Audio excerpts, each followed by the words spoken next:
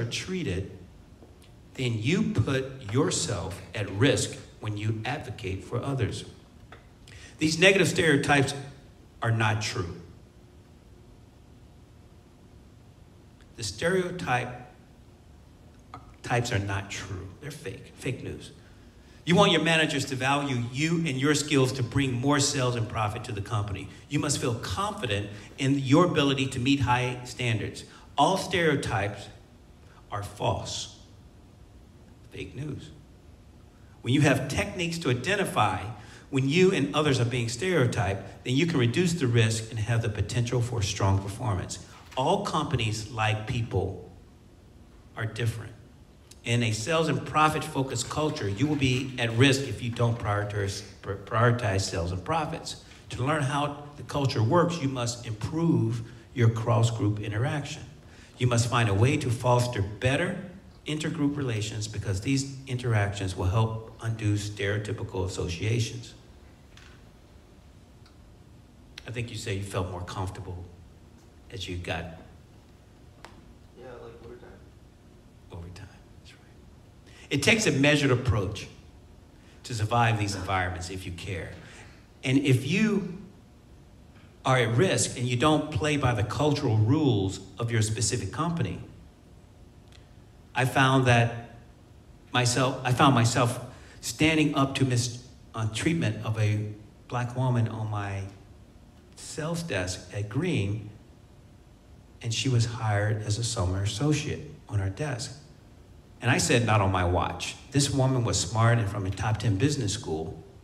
However, by standing up, I was standing out.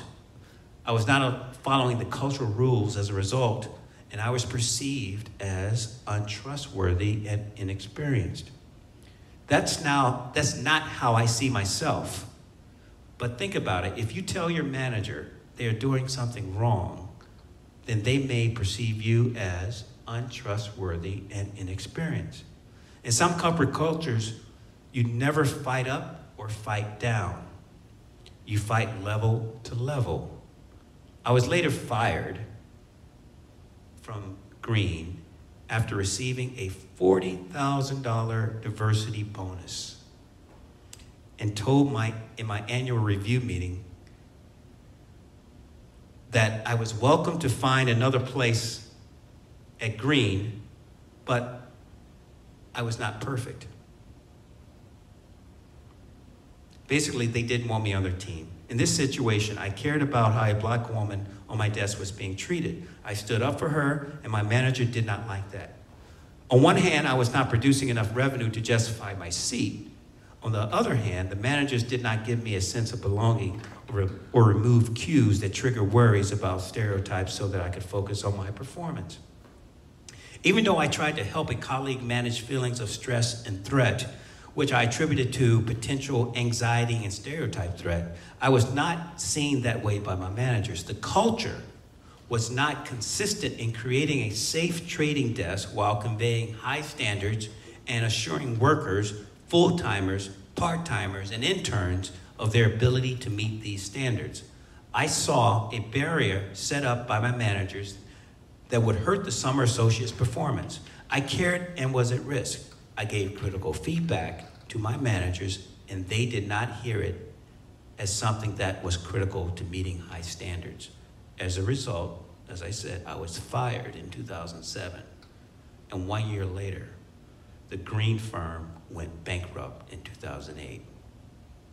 I believe, and it is my opinion, that a key factor in the failure of Green was its inconsistent culture. An inconsistent culture will lead to underperformance in highly competitive and risky environments. Stereotype threats and cues are setting the trigger worries about stereotypes will lead to underperformance in highly competitive and risky environments. Cues, settings, photos, environments that you work, the cues that may trigger a feeling of anxiety.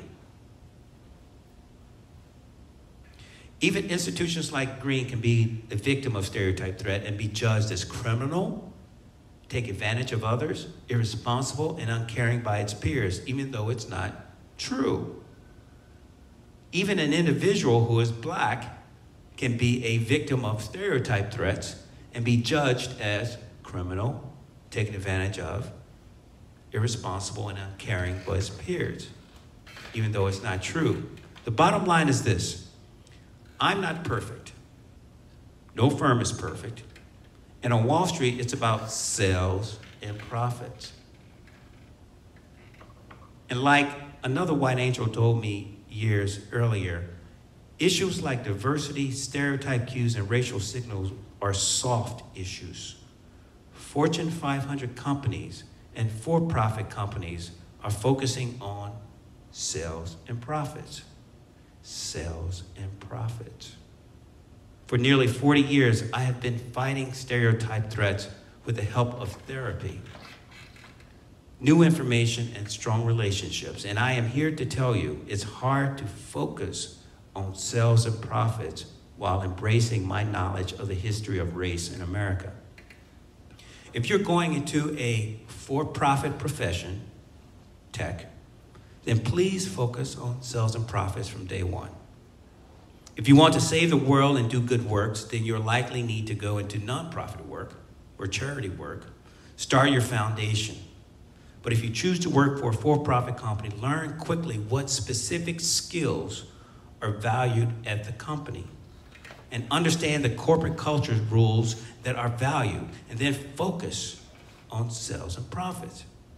Use stereotype intervention strategies, the 12 that we mentioned earlier, to reduce your anxiety so that you can focus. In all professions, you can be burdened by the constant vigilance of how you are being perceived by others. So, so your knowledge and ability to use interventions to reduce stereotype threat is critical to your survival and performance.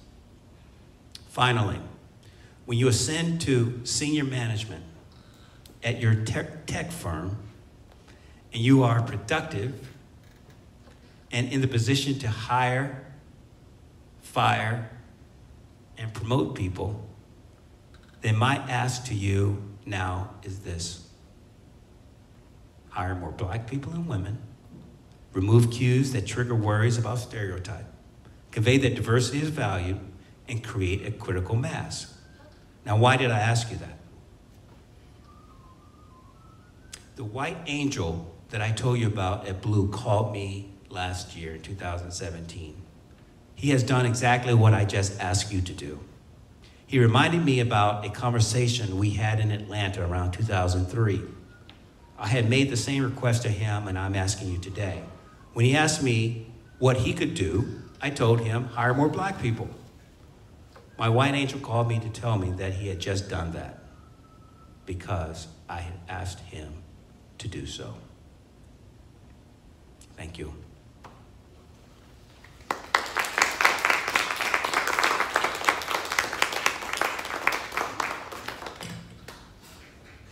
Would anyone like to share their experience with a stereotype? Positive stereotype or negative stereotype?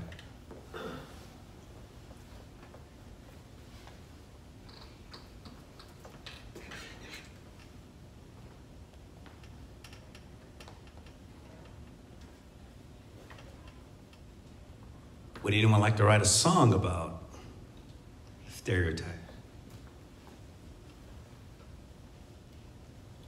This is a difficult subject for me to talk about. And I am certain when you leave the safety and love of your college environment and get into the real world, you will experience, directly or indirectly, stereotype threats. Whenever there's money on the line, is competitive, there's someone who wants that seat, and they don't want you in it.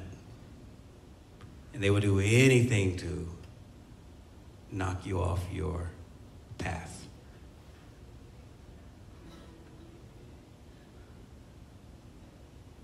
What do you think about that?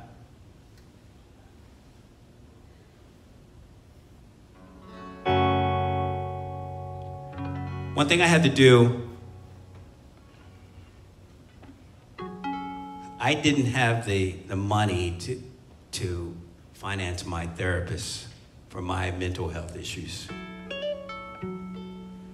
But I did have a pen and pencil and a guitar to write down what I was feeling.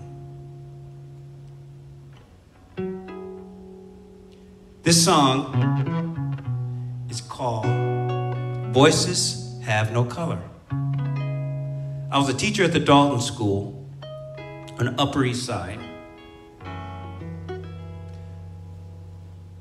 And the Rodney King verdict came across from California. Are you familiar with that?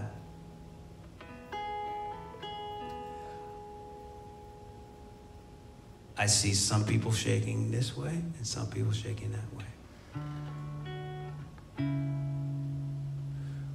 Well, it started like this. For Rodney King, who was driving, black man, and he got stopped by the cops. What happened?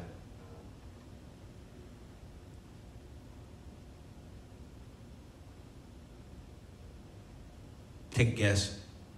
Uh, didn't he like, he got like shot, but unfairly or something? Okay? Anyone else?